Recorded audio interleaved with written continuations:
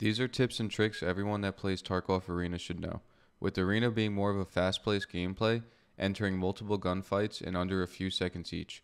Some of these tips you may already know, some you may not, but they will make you a better player instantly.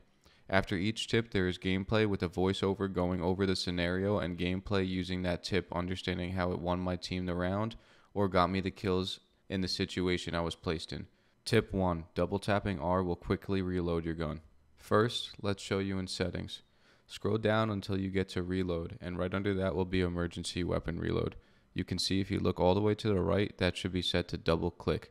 This will allow you to drop the mag that's inserted in your gun but quickly load the next. Let's jump into a scenario using this. So right here I kill a guy but I am unsure where the last two guys are. Knowing it's a 3v2 and we have control of A, I have to be ready for the next fight just in case he swings heli with the time counting down to flag. They might try to take B point before the flag spawns so they have a chance to win this round. I reload quickly by double tapping R. It puts me back in the fight and what do you know he comes and tries to take control of B before the flag even spawns. I pick him off going to point. On here I am in a 1v1 with 10 seconds until raiders spawn in. I am controlling B side, but if I sit on B, he can swing on me at any point. I'll never know when he's swinging, so I don't want him to have control.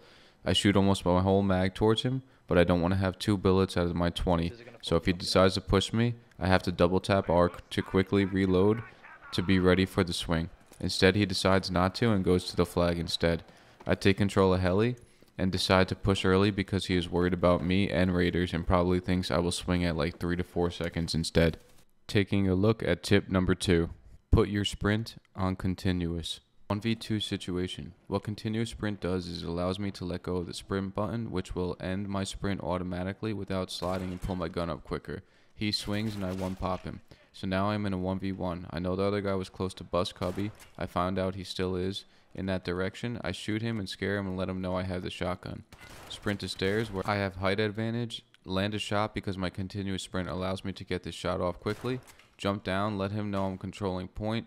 Listen to where he's going. Don't let him swing on me. I push his swing, hop off point, and use my continuous sprint and shotgun to my advantage, take home the round. Taking a look at point number three, use the shoulder transition. 1v2, I hear someone off his side and I know someone is back heli, so no, no matter what, I should have my gun on my left side because the guy swinging from behind heli was swinging out to my left.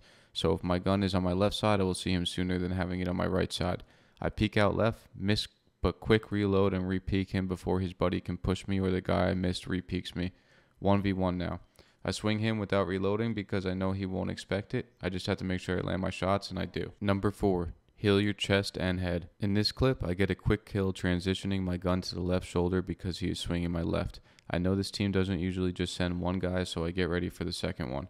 I swing, he is in a weird position, we both land shots on each other. Instead of me pushing while my chest and head are now orange and yellow, which makes me a walking one shot, I run back while my team covers and I heal only my head and chest to get back into the fight.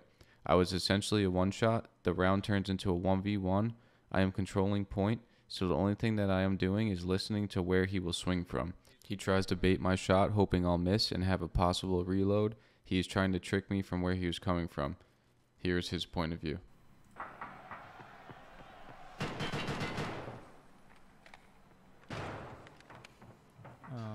This chest is.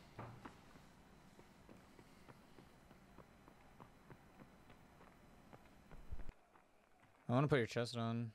Uh, It's gonna one tap me anyways. I'm gonna get him to shoot that first shot. Damn it.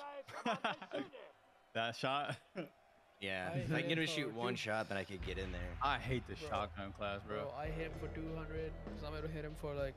From what they were saying, it doesn't seem like they even had the idea of me running back and healing my chest and head in the middle of that whole thing.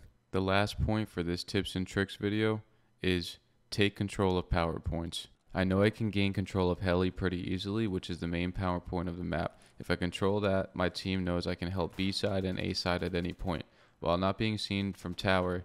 So my plan here is to take over heli, I run into two, and the round eventually turns into a 3v1.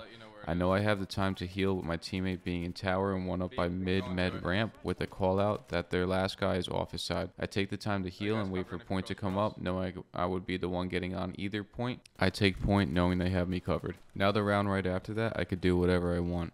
Why are they going to keep wasting their lives going heli? but they think I am going to go heli, so they decide to not send anyone and not accounting for me to push whatever side I decide to help on.